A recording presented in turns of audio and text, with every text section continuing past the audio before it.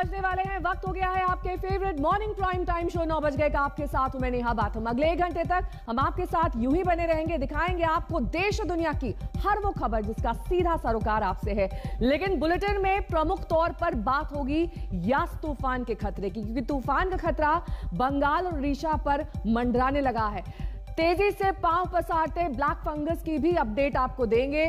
साथ ही ये भी बताएँगे कैसे इसकी दवा की किल्लत से मामला गंभीर होता जा रहा है। और साथ ही आपको दिखाएँगे जबलपुर की एक लाइव तस्वीर, कैसे पुलिस ने नाटकीय अंदाज में रेमडेसिविर की कालाबाजारी करने वाले वांटेड आरोपी को धर दबोचा। लेकिन शुरुआत करेंगे यस तूफ़ान के खतरे की। मौसम विभाग के मुताबिक तूफ़ान कल उड़ीसा के तट से टकराने वाला है। इसका ट्रेलर उड़ीसा में दिखने लगा है। उड़ीसा के पाराद्वीप में रुक रुक कर इस वक्त बारिश हो रही है। तूफ़ान आने से पहले उड़ीसा सरकार ने इससे निपटने के उपाय भी तेज कर दिए हैं। खतरे वाले इलाकों से लोगों को बाहर निकाला जा रहा है। मौसम विभाग के मुताबिक तूफ़ान 155 से एक सौ पैंसठ किलोमीटर प्रति घंटे की रफ्तार से आएगा और इससे सबसे अधिकतम रफ्तार एक किलोमीटर प्रति घंटे की होगी। ये उत्तरी ओडिशा में बालासोर के पास टकराएगा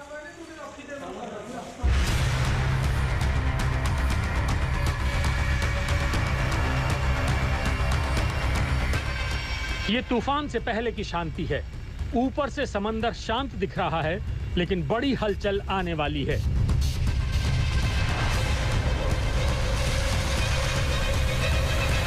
अरब सागर में ताउते तूफ़ान को गुजरे। अभी कुछ ही दिन बीते हैं और अब बंगाल की खाड़ी में यास नाम के बवंडर की एंट्री हो रही है। आशंका है कि बंगाल की खाड़ी में उठा हवा का बवंडर अगले 24 घंटों में गंभीर साइक्लोन में बदल जाएगा।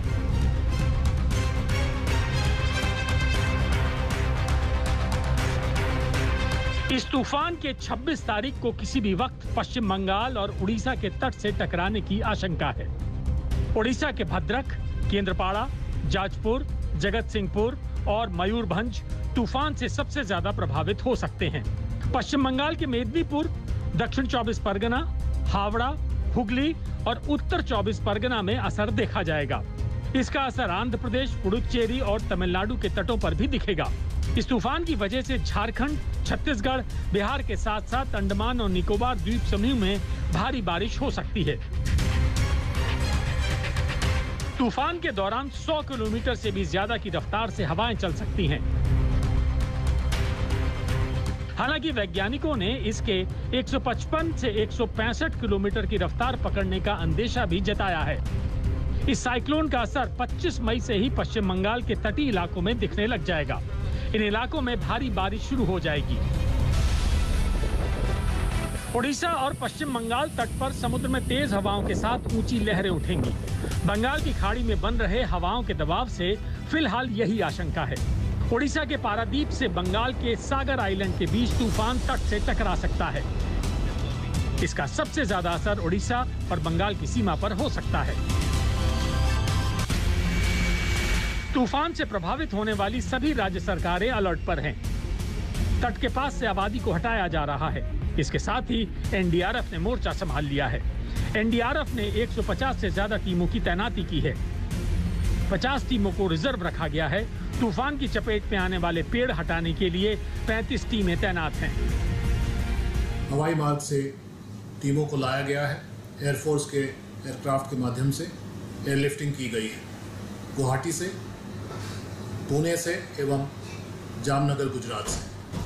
ये टीमें पहुंचकर उड़ीसा में ड्यूटी करेंगी वायुसेना ने एनडीआरएफ की टीमों को एयरलिफ्ट किया है, जो अब कोलकाता, भुवनेश्वर और पोर्ट ब्लेयर समेत दूसरे इलाकों में तैनात की गई हैं। इसके अलावा भारतीय वायुसेना के 11 ट्रांसपोर्ट विमान और 24 हेलीकॉप्टर बिल्कुल तैयार रखे गए हैं मौसम विभाग के तूफानी अलर्ट के बाद भारतीय रेल ने नई दिल्ली से पुरी और भुवनेश्वर जाने वाली कई ट्रेनों को रद्द कर दिया है। इनमें हावड़ा, यशवंतपुर एक्सप्रेस समेत कई ट्रेन शामिल हैं। वहीं प्रधानमंत्री नरेंद्र मोदी ने वीडियो कॉन्फ्रेंसिंग के ज़रिए समीक्षा बैठक की है। कोलकाता से अनुपम मिश्र के साथ आज तक